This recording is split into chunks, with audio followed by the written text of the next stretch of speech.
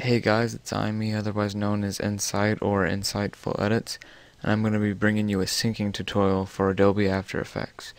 Now, this is my second time doing it, so you guys have to uh, excuse me for missing anything, but I'm going to try and make it pretty simple for you guys. So I've got my clip and my song, and so I'm going to just import that and get this started.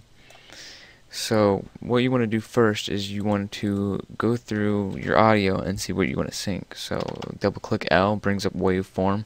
It lets you see um, the beats and the sound and everything at once. So I mean, as you can see, just little beats, little beats, pretty big beat, little beat, little beat, little beat, and then main beat. So uh, let's listen to this big beat, this big drop. Alright.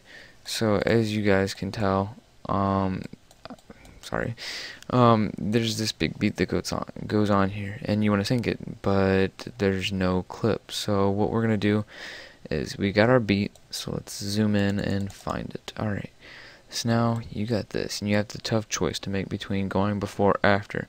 I would go with before, and I'm pretty sure most people would too just because to me it looks a lot nicer and it seems better, but it might vary depending on what you're actually syncing it to.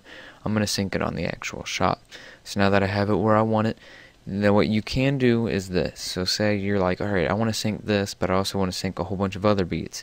So what I'm going to do is I'm going to hit shift in 0 or 1 through 9. See, I mean like 0, 1, 2, 3, 4, blah, blah, blah. I want to hit 0 because it's just my first one. And so now, no matter what I do to this timeline, it's going to be right there at that moment. So if I wanted to sync it, I'd simply line it up. And then I would line up what I want to sync it with. So I'm just going to drag this over. Um, let's see. Boom, there's the gunshot. And so now let's just work with a little area right here. And let's run preview this out.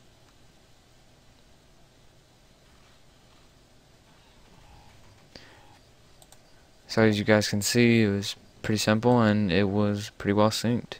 So now if you guys want to do something else, so let's see. Um, uh, let's do something after it. I don't I don't know. Let's just check this clip real quick. Okay, there's one more kill right here. So let's look for the audio and let's look for another Alright, so I think it's like right here. Let's listen again. Alright, so I believe it is right here. Now, I might be mistaken, so you will have to uh, excuse me if I am wrong. But uh, there's no harm in trying. Alright, so let's do one. And let's just cut it right here. So Control Shift D will cut it, or you can edit split layer right there. So, and then we get to where we want to sync it at. No, okay, it was lined up. And now let's just sync the shot to it. So, uh, boom. So we'll try there. Um, let's preview this out and see how it looks.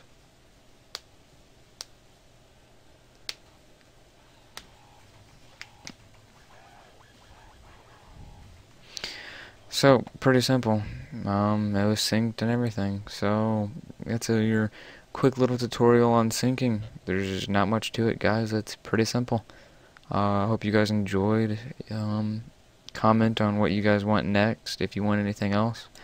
Um, if not, I will just continue making them whenever I see fit or whenever I know enough about it to actually provide you with a quality tutorial. So uh, this was Imi, and I just taught you how to sync in After Effects.